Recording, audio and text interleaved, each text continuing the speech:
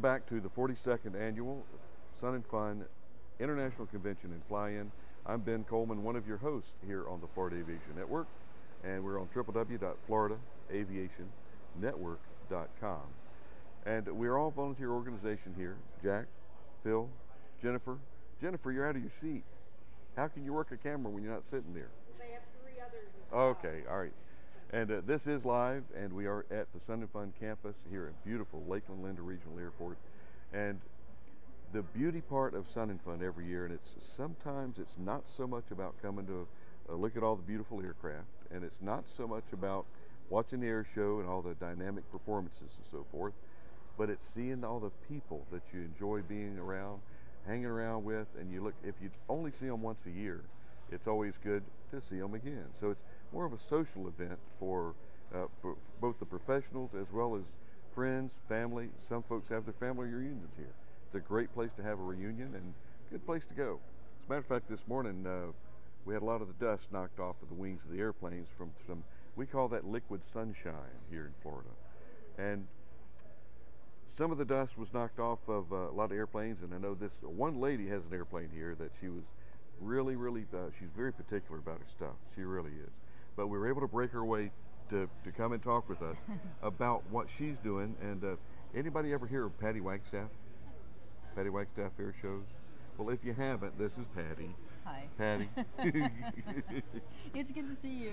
You as well. Always good to see It you. is good to see people here. That's what I look forward to the most, seeing my friends and It- people that you only do see once a year. So, yeah. And you wish it was more, but uh, you know the years just start to flow. Yeah. And before you know it, it just seems like the folks that you saw last year, it was like a couple months ago. I know, I know, it's true. So, And yeah. uh, Patty, uh, for um, I don't know if that was really a, a tongue in cheek because everybody knows about Patty Wagstaff.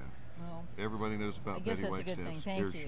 shows and uh, and all of the things that you've accomplished in aviation through the Thank years. you. And uh, the thing about Patty is she's always looking for something else to do. Yeah, and uh, she, she just she's not the type that kind of sits back and says, "Well, okay, I've made it. I've got all these No, awards never. and Yeah. uh, and I've accomplished this much and touched so many lives. So I'm think I'm done." What are you doing, uh, Patty? The next phase of your career? Thanks. Well, I'm flying air shows, um, and I'm writing for Plane and Pilot, and I'm real excited about that. I really enjoy that. And um, Plane and Pilot has a new editor, Robert Goyer, and um, so he's been great to work with. And um, I am still working with the Kenya Wildlife Service pilots, giving them training, and hopefully This this, coming Kenya. winter in Kenya. Kenya. For Kenya Wildlife Service, they patrol all the national parks and look for poachers and try and keep the poaching down. It's really tough right now.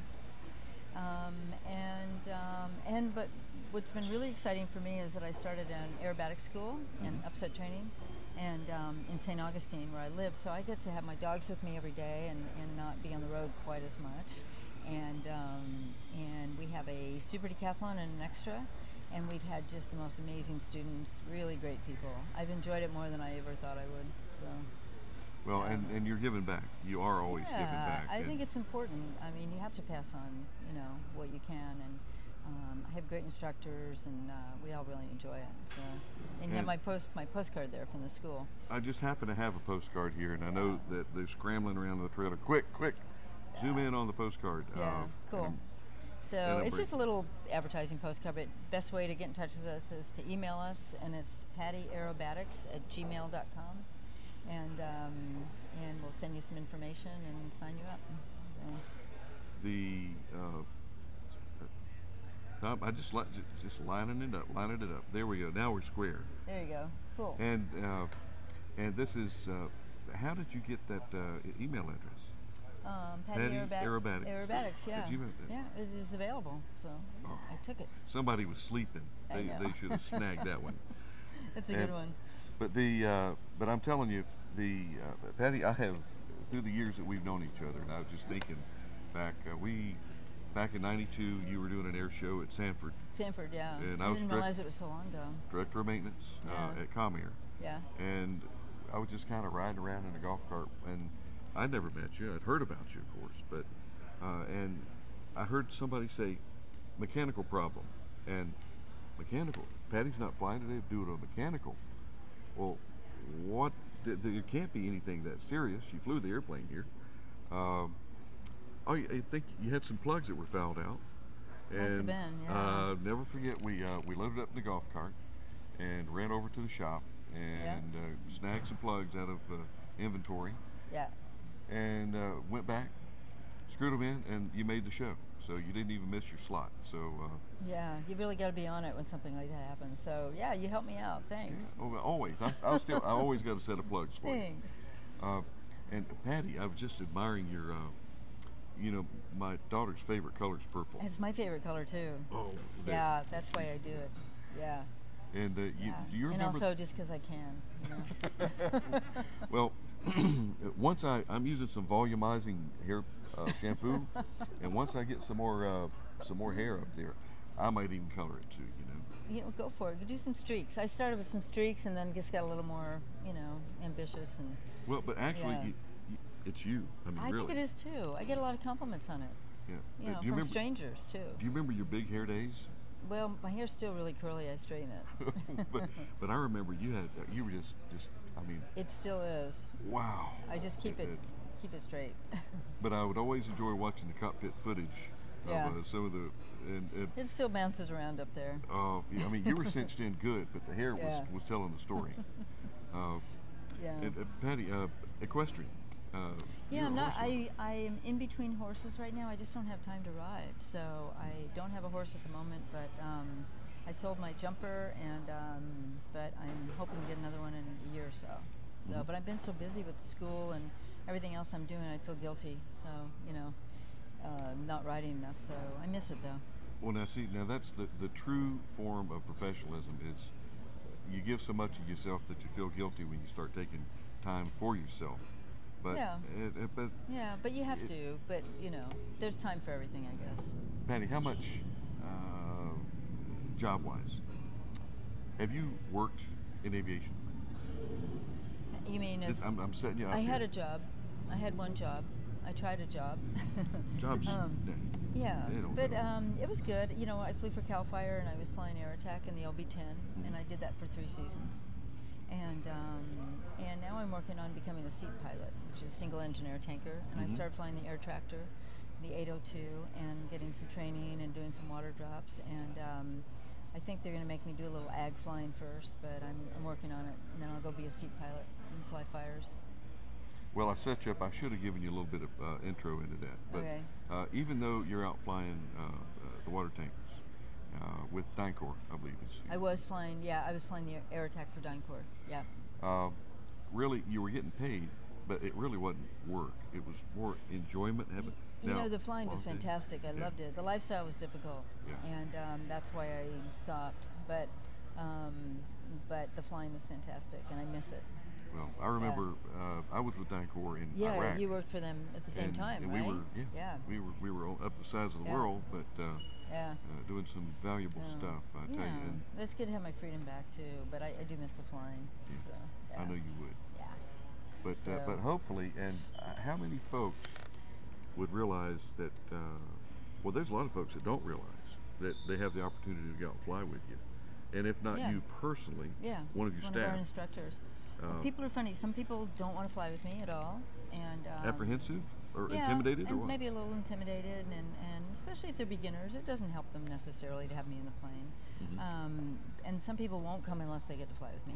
So you never know, you know. It's it's mixed, but I fly with people. I, I do quite a bit of instruction. I really enjoy it, and I have some advanced students that come from um, you know Abu Dhabi and Italy and um, overseas to work on more advanced aerobatics and in the extra. So I do a lot of that, and I really enjoy it. I'm flight instructions um, it's it's a real challenge and it's difficult and I've been a flight instructor since 1983 but I haven't Mhm. always done a lot of instruction you know Mhm. but um, but I've always kept it current and so I'm, I'm learning to be a better instructor every day you know learning techniques of how to explain things and and it's really fun that part of it for me I really enjoy the process of getting to be better and you know and understanding people's personalities and what's going to work for them Mhm. you really have to use a lot of psychology. You have to be insightful and find out what their motivations are, and and um, so it's it's it's always a challenge.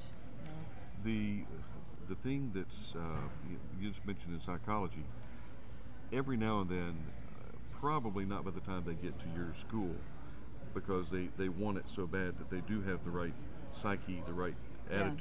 Right. But every now and then I, I come across some folks that they tell me they want to be a, an aircraft mechanic because I was involved with a lot of A&P training there for a while. And uh, after I talked with them for about 5, 10, 15 minutes, there's people out there that they, they didn't want to get their hands dirty. Oh. They, they liked working on airplanes, but they Yeah. didn't like to get dirty. And Yeah. so maybe if I get involved with avionics, it, that I don't have to get dirty for that, do I?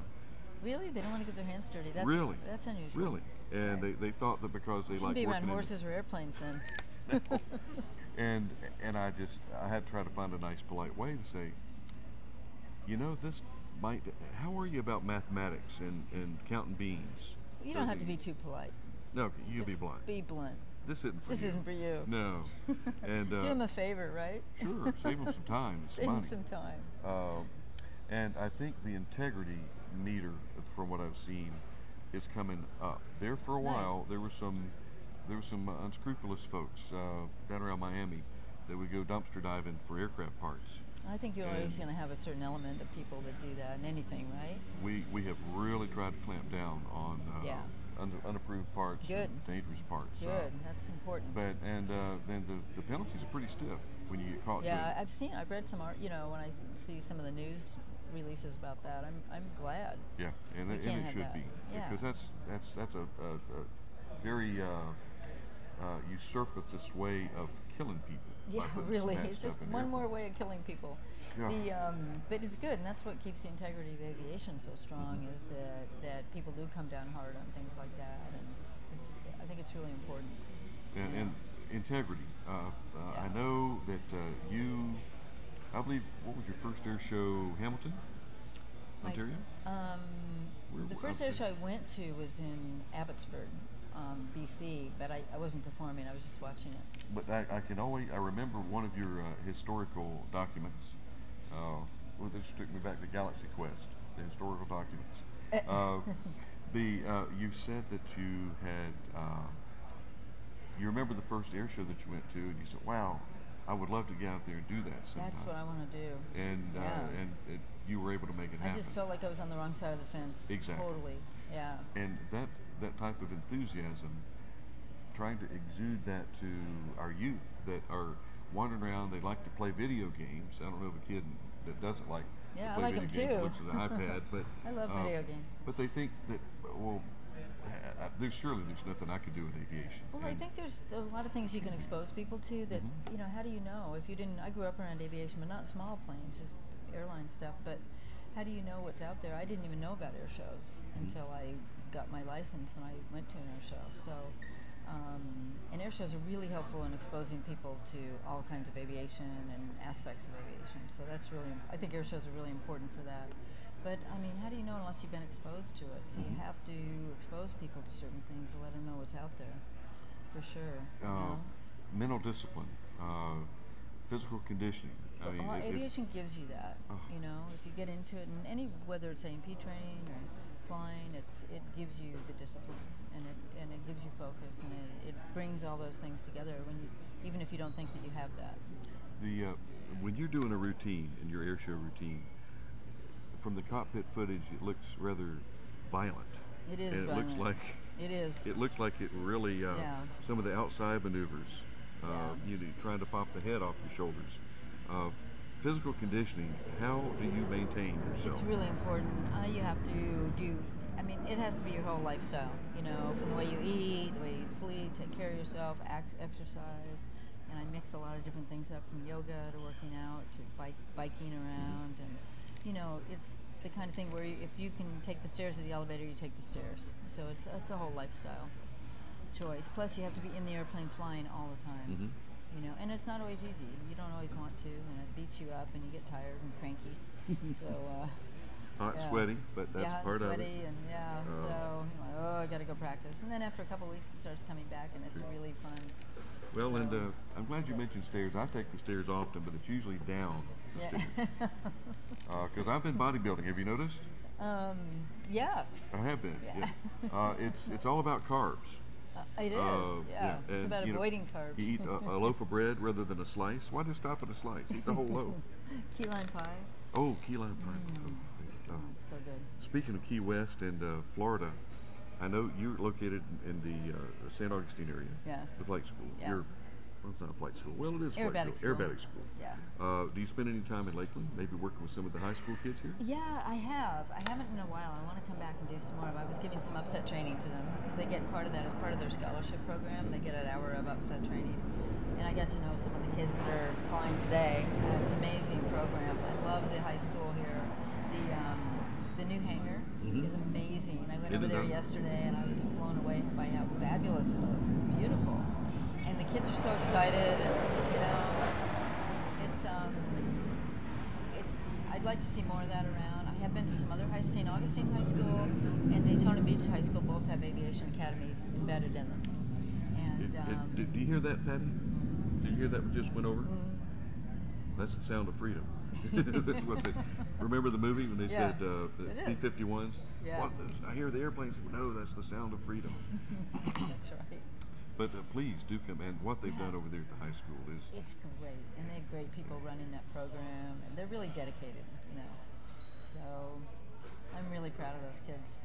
well. Let's Yeah. uh, let's do more to uh, get some more kids. Yeah. Not only that you meet here to have them come up through and, and upset training. Uh, uh, not everybody understands what upset training is, and it's Yeah. it's training that you get to. Fly, if you don't get to fly with Patty, you get upset.